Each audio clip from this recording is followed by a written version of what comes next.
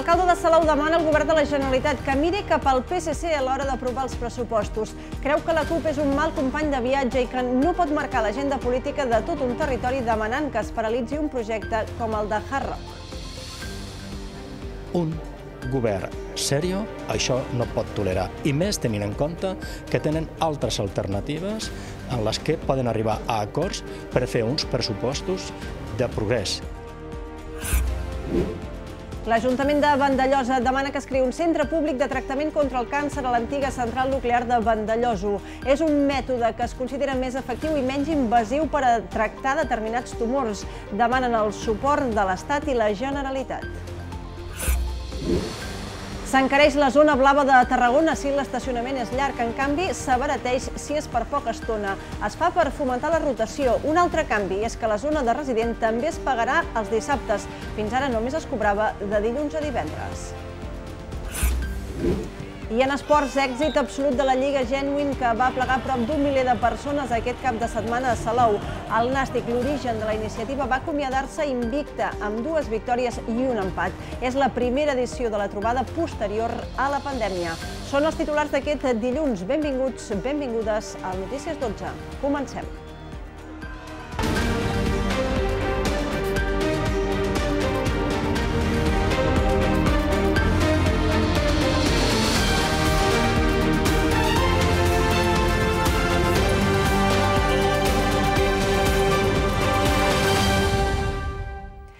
Missatge clar de l'alcalde de Salou, Pere Granados, insta el govern català a aprovar els pressupostos amb el suport del PSC per tal de no bloquejar projectes com el de Hard Rock. Critica que es busqui la CUP per aconseguir la majoria parlamentària quan, al seu entendre, la formació anticapitalista planteja acords enverinats contra el progrés del país.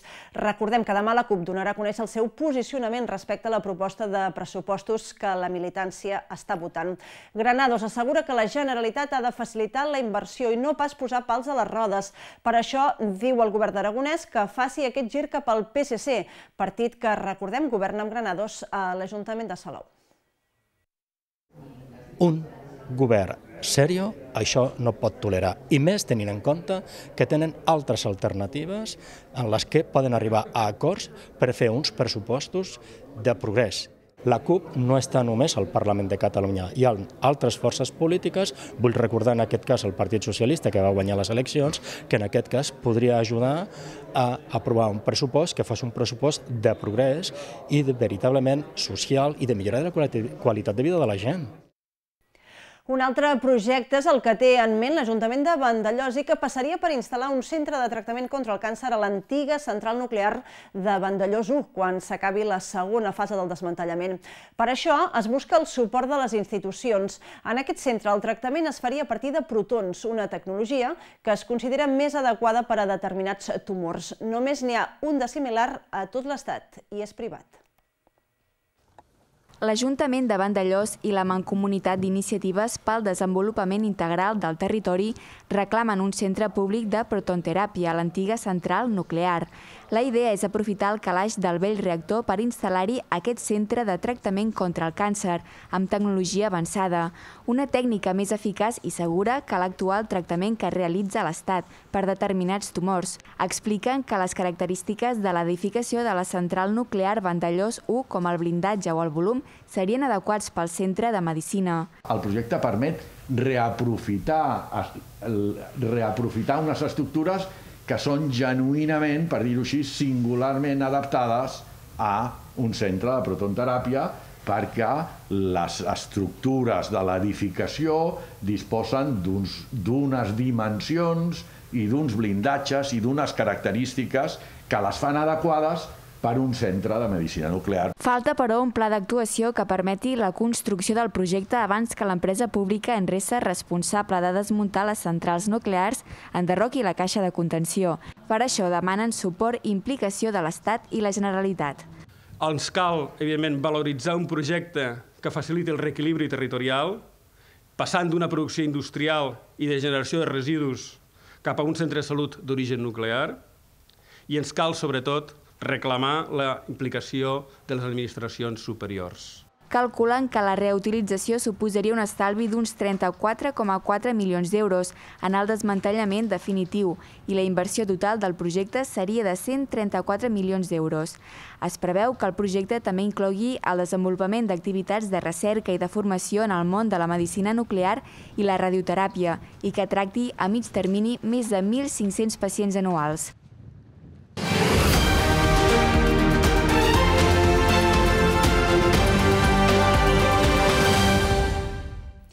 A partir d'avui, aparcar la zona blava de Tarragona és proporcionalment més barat si aparquem poc temps, però més car si deixem el vehicle molta estona. Amb aquestes noves tarifes es busca fomentar la rotació dels vehicles. Una altra novetat, a partir d'ara, la zona de residents també es pagaran dissabte. La primera mitja hora d'aparcament a la zona blava de Tarragona val 55 cèntims menys a partir d'aquest dilluns. És el més destacat d'un paquet de mesures impulsat per l'Ajuntament amb l'objectiu de racionalitzar l'ús dels aparcaments i desplaçar els estacionaments de llarga durada de la via pública. D'aquesta manera, la tarifa per una hora es manté a 1 euro i 15 cèntims, mentre que el preu per a dues hores puja de 3 a 4 euros. Se fa en el sentit de millorar la mobilitat de, de Tarragona. És a dir, que la zona blava funcioni veritablement com una zona blava, per tant, un lloc on aparques un temps limitat i un temps el menys, el més petit possible, i eh, trobis lloc. Pel que fa a la zona verda de residents i la zona taronja es mantenen les tarifes, però s'amplien els dies de pagament. El dissabte deixarà de ser gratuït, però el diumenge i els festius ho seguiran sent. D'altra banda, els residents hauran de pagar una quota de 15 euros per donar-se d'alta o canviar els requisits. Pel fet de que la zona blava el dissabte funcionava, la pressió eh, es trasladava a les zones verdes i, per tant, aquest dret d'alguna manera que s'exercien els veïns de poder aparcar a prop de casa no es podia complir. Finalment, l'anul·lació de denúncies per excés de temps es podrà fer efectiva sempre i quan no se superi el 50% del temps del tiquet i amb un màxim de 3 hores hores des de la imposició de la denúncia. L'import a abonar serà de 8 euros. L'Ajuntament de Tarragona ha obert una línia d'ajuts de més d'un milió d'euros per rehabilitar pisos que després serveixen per fer lloguer social. Els propietaris amb un màxim de 5 habitatges poden sol·licitar aquesta subvenció que cobrirà fins a 18.000 euros de reformes amb la condició que la casa o el pis entri en aquesta borsa. Els preus d'aquesta són entre un 10 i un 20% més baixos que els que hi ha al mercat privat i tenen un topall de 550 euros al mes. Tothom qui busqui pis pot apuntar-se a la borsa, que ara mateix compta amb prop de 90 habitatges tenim una mancança d'un parc públic en habitatge que realment doni resposta a totes les necessitats habitacionals que patim. Eh, estem lluny de poder donar un servei eh, òptim com a administració, però recordem que l'administració local té una sèrie de limitacions i que aquí patim el fet de que a nivell eh, polític no s'hi hagi posat en l'agenda com una prioritat les polítiques d'habitatge. A l'Espluga de Francolí fa un any que està tallat el carrer del Castell per l'enfonsament parcial d'un immoble. Els veïns demanen solució a l'Ajuntament i han recollit més d'un centenar de signatures. Des del govern local aleguen que els tràmits per enderrocar l'edifici s'han allargat per la situació administrativa de l'Ajuntament i ara estan a l'espera del projecte per iniciar les actuacions. Ja fa un any que els vehicles no poden circular pel carrer del Castell de l'Espluga de Francolí. Aquestes tanques embarren el pas a causa dels problemes estructurals que pateix aquest immoble que està pendent de ser derrocat parcialment.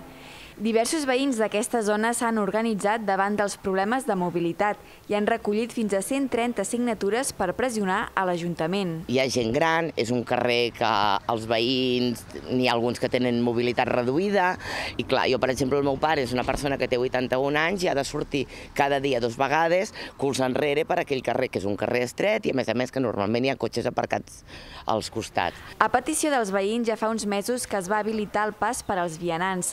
El govern local assegura que subscriu les queixes dels veïns i lamenta que els tràmits s'hagin demorat en el temps. S'argumenta que el passat mes de març l'enderroc ja estava en tràmit, però que es va endarrerir per la baixa de llarga durada del secretari municipal. Ara s'espera que acabi la redacció del projecte d'enderroc per part del Consell Comarcal. Aquesta qüestió ha arribat en diverses ocasions al ple municipal per les queixes del principal grup de l'oposició. El pressupost del 2021 contempli una partida pressupostària per fer front a aquesta despesa i a aquesta actuació. Estiguem a mitjans de novembre, faci un any d'aquesta situació precària i creiem que vergonyosa fins i tot ja després d'un any i que no s'hagi executat cap mena d'actuació. L'alcalde li retreu que precisament l'edifici el va comprar l'anterior equip de govern i no hi van fer res. Fa 10 anys que l'Ajuntament és propietari, doncs ara tenim aquestes conseqüències. Un, un edifici que no tenia cap tipus de manteniment, un edifici que no tenia cap tipus de destinació i al final doncs, ha acabat començant a, a perdre seguretat estructural. I això és el que ens trobem avui dia. Junts per l'Espluga, que també ha donat suport a les queixes pels veïns, rebutja l'argumentació del govern perquè diuen que sempre utilitza les mateixes excuses i li demanen que gestioni el dia a dia del municipi.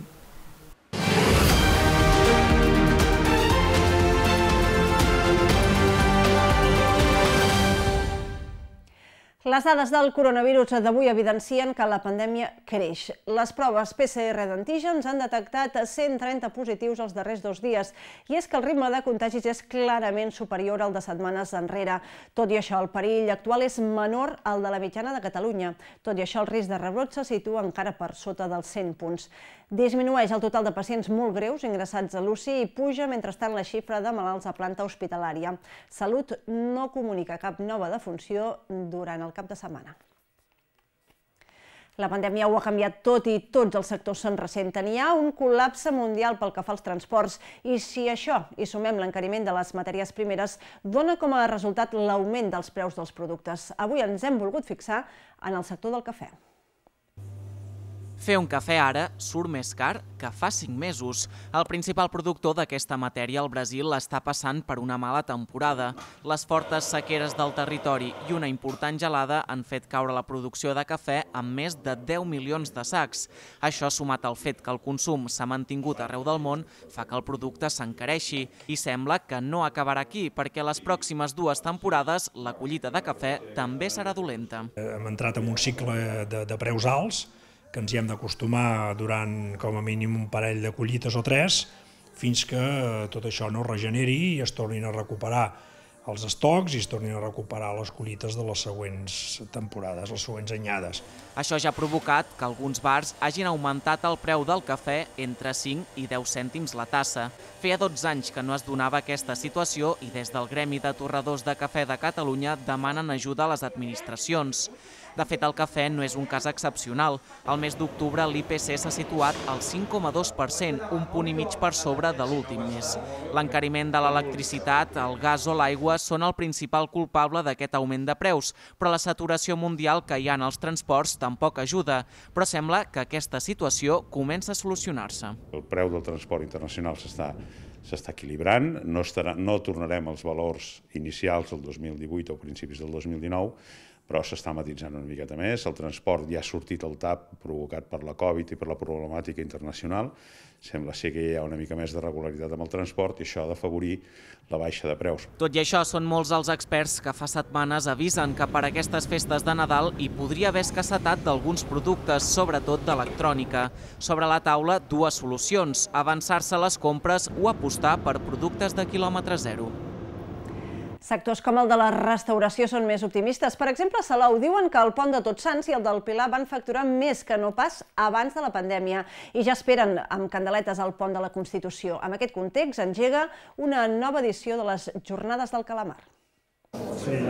L'hostaleria encara amb ganes la campanya de Nadal i amb l'esperança de recuperar els àpats d'empresa i les celebracions familiars. Els restaurants les sensacions s'han recuperat fins al punt de tenir pics d'activitats semblants o fins i tot superiors als que hi havia abans de la pandèmia. Serà clau arribar al desembre amb les mesures actuals que permeten als establiments treballar pràcticament amb normalitat. El fet que no hi hagi limitacions en el nombre de comensals per taula facilita molt les coses i convida a pensar altra vegada amb els tradicionals àpats de les festes. Si la situació sanitària no empitjora i es manté la bona dinàmica dels darrers festius, el balanç final podrà ser més que positiu. El pont del Pilar i el pont de Tots Sants han sigut tremendament millors, no que l'època de pandèmia, sinó que dades del 2019. I això dona esperances a uns negocis molt afectats per la pandèmia. Jo crec que ja es nota una recuperació molt, molt clara. El que segueix costant, però, és remuntar l'activitat dels dies feiners, que són fluixos. Precisament per impulsar el sector més enllà dels dies forts, pren rellevància recuperar les jornades gastronòmiques del Calamar, a Salau. Es celebraran del 19 de novembre al 5 de desembre amb 13 restaurants participants. Els menús inclouran algun plat amb el calamar com a ingredient protagonista. És un punt molt important de qualitat gràcies a la implicació i a la bona feina i al gran treball que els xefs de les cuines de Salou doncs, eh, fan. Al final hem aconseguit tombar aquesta idea de que en els municipis turístics grans no hi ha oferta gastronòmica de qualitat i això l'hem trencat. A més de posicionar la restauració saluenca, les jornades també volen reivindicar la qualitat dels productes locals i les denominacions d'origen de la demarcació.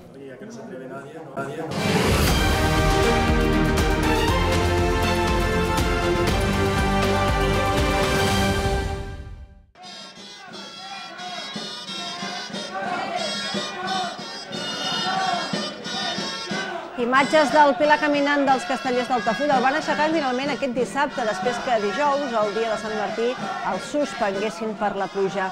El Pilar de Quatre va avançar pels 42 esglaons que separen la plaça del Pou de la plaça de l'Església, on va acabar això sí caient abans de poder-lo descarregar.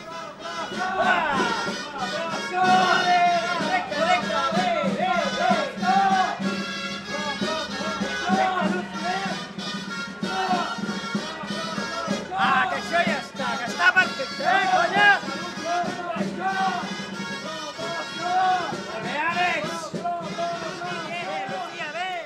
Ha estat un dels darrers actes de la Festa Major d'Altafulla que també ha reviscut la tradicional baixada de trastos des de l'ermita de Sant Antoni i s'ha homenatjat la figura d'un vilatà amb molta història, com va ser el científic Martí Franquès.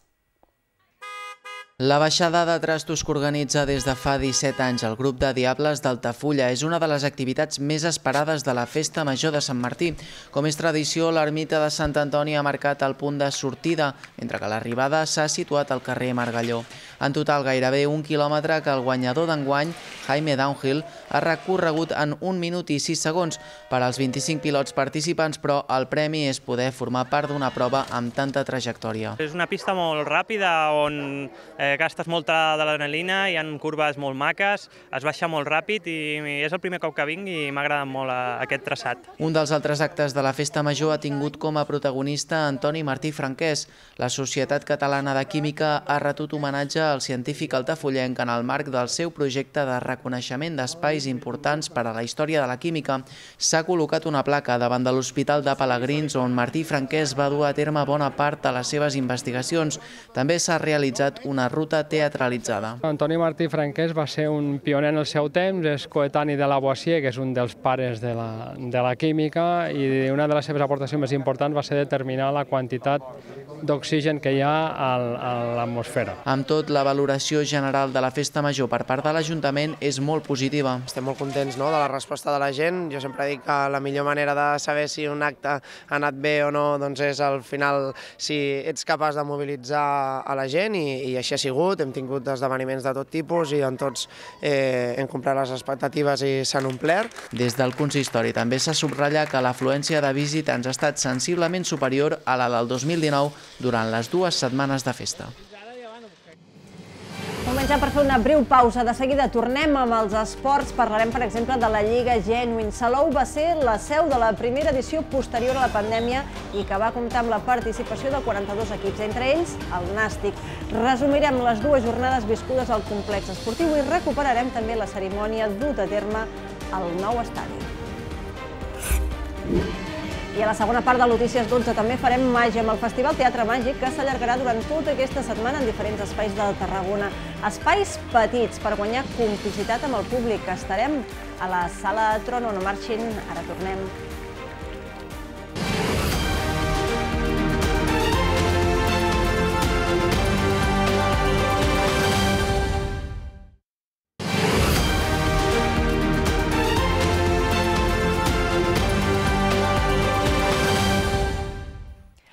42 equips s'han aplegat a Salou durant el cap de setmana per recuperar la Lliga Genuine inèdita el 2020 per la pandèmia i que ha superat el rècord d'inscrits. La iniciativa està plenament consolidada amb el Nàstic com a creador i organitzador de la trobada. Avui al Dorsal 12 entrevistarem l'entrenador local, Rafael Magrinyà. El complex esportiu Futbol Salou és ja la casa del futbol genuí, el més multitudinari des de la instauració d'una idea que va sorgir fa prop de mitja dècada. El Nàstic va ser un dels 42 clubs participants, sis més que l'anterior edició, la del 2019, i amb la principal novetat de l'entrada del Barça.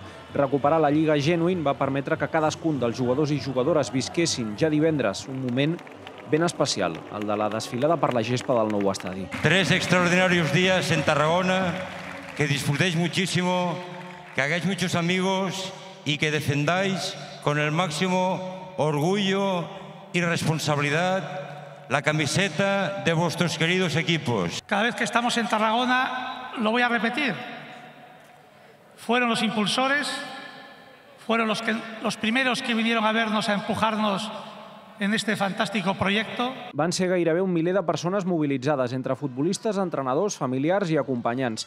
Tots i totes van oferir el màxim, garantint una condició indispensable per participar de la Lliga Genuine, el respecte als companys i als rivals. Els resultats són secundaris, però agrada guanyar i el Nàstic va acomiadar l'edició del 2021 sense perdre. 2 a 1 davant el Deportivo, 4 a 0 contra el Llevant i 1 a 1 amb l'Ossassuna. Guanyar està molt bé, tots estem molt feliços, però més per poder tornar a jugar i poder tornar a ser nosaltres. La Lliga Genuine va aturar-se gairebé dos anys per la crisi sanitària i va tornar ara amb importants mesures de restricció per garantir la seguretat dels participants. Rayo i Córdoba van ser els guanyadors i el Nàstic va acabar en tercera plaça. El premi a l'esportivitat se'l van portar l'Atlètic Club. Parlem ara de bàsquet a la Lliga EVA. Primera derrota del líder, el CBT, després d'obrir la temporada amb sis victòries. Els de Berni Álvarez van caure a Castelldefels per 67 a 55 en un partit en què els locals van dominar des de l'inici, amb major encert i intensitat. D'aquesta manera ja no queda cap equip invicte a la fase regular. Tampoc va guanyar el Salou, en aquest cas, el seu pavelló contra el Martinenc, que va imposar-se per 75 a 81. Jesús Muñiz va acabar expulsat arran d'una actuació arbitral discutida per part dels salouencs, que es queden així amb tan sols 3 victòries en 7 jornades. L'única alegria de la jornada la va protagonitzar el Valls, victoriós contra el Sant Cugat per 89 a 67 i que conserva així la segona posició, també en zona d'accés a la fase per pujar a l'Ep Plata. Avui al programa Dorsal 12 entrevistem el seu segon entrenador, Marc Guas. També conversarem amb el millor porter de futbol platja del món, el torrenc Elliot Munut.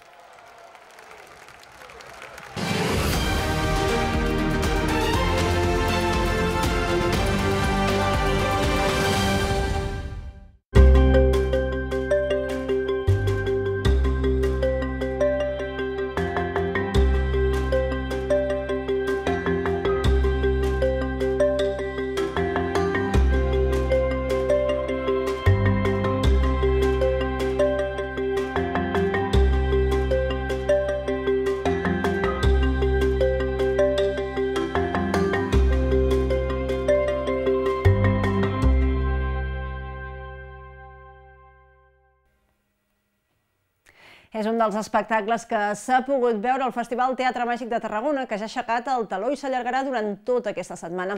Propostes que trobem repartides per diferents espais amb un tret comú, sales petites que fan guanyar interacció amb el públic. La màgia ha envaït sales com la Trono amb la tornada del Festival Teatre Màgic. El retorn a la presencialitat després d'una última edició en línia era el que més esperaven els il·lusionistes i el públic. Les platees s'han omplert amb propostes arriscades com les del Mago Marín. La particularitat de l'espectacle, Nada en la manga, és que no és apte per menors d'edat. Últimament, eh, els últims anys, la màgia com que s'ha destinat molt doncs, això, al públic infantil, al, al públic familiar, i jo crec que la màgia és tan àmplia i dona tant de joc que, que que tenir un espectacle estrictament per públic eh, adult és el que a mi més m'omple i, i jo crec que el públic que ve a veure'l doncs, també ho agraeix. La quinzena edició del Teatre Màgic ha apostat per sales petites com la Trono, l'Espai Jove Quese o el Teatre Magatzem, amb la voluntat de recuperar l'essència dels cafès teatre del segle XIX. La jugada sembla que els ha sortit bé als organitzadors, ja que la resposta del públic ha estat molt positiva. La verdad es que está muy bien. Nosotros siempre venimos a este de aquí de Tarragona y al de la Canonja. Sea que cada año somos fieles al, al espectáculo procuramos venir, pues yo que sé, a dos o tres espectáculos de cada año de cada sitio. La programació del Teatre Màgic d'aquesta setmana tindrà com a plats forts un taller de trucs per a Instagram i el cabaret màgic d'Eduard Joanola. L'acte de Cluenda serà el diumenge vinent amb el Mag Gerard i la companyia Doix a la Taix. Més de 1.500 persones han passat per la 17a edició del Festival Guant de Titelles de Valls que s'acaba avui. Es tracta d'una afluència molt similar a la registrada abans de la pandèmia. Dos espectacles han arribat a exaurir entrades. També el tradicional taller de construcció de titelles. El Festival de Teatre de Titelles de Valls al Guant ha rebut un total de 1.500 visitants des del seu inici la setmana passada. La 17a edició va recuperar el 100% de l'aforament després que l'any passat es va haver de celebrar amb les limitacions que marcava el Procicat.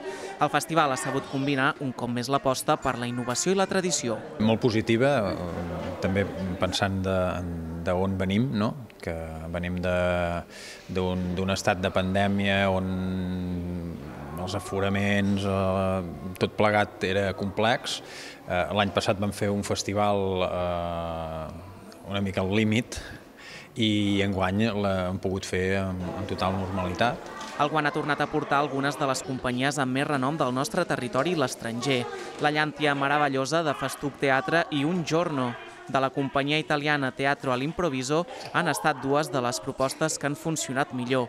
També ho ha fet el taller de creació de titelles, que ha omplert inscripcions. Amb una espàtula he fet els ulls amb retolador, un tap de suro l'he tallat i l'he pintat, després amb papers de magdalena l'he enganxat, amb plastidecor he fet el tronc i per lo de pastisseria, la base de les pastisseries, he fet una pajarita. Com ja és tradició, les famílies assistents del taller de la constructora de marionetes Clara Algava van haver de d'un quilo de menjar que es va destinar al menjador social La Taulada. Doncs nosaltres avui amb el Festival One ens acomiadem, que acabem de passar un molt bon dilluns. Saben que poden continuar informats a través del nostre web i també a través de les nostres xarxes socials. Ens retrobem demà dimarts a l'hora de sempre. Adéu-siau.